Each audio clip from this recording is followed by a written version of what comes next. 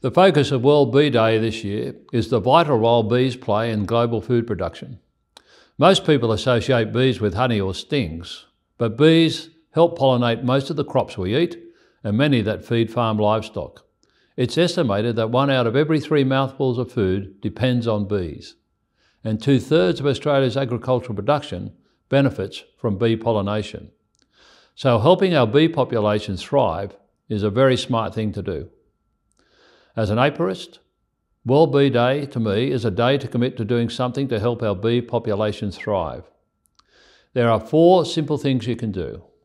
Buy Australian honey, plant flowers to provide vital food sources and habitat, avoid using pesticides and fungicide sprays that can be harmful to bees, and make sure water is available, particularly during summer.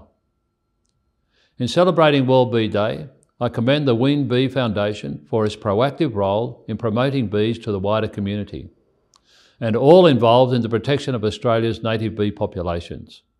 Have a happy World Bee Day.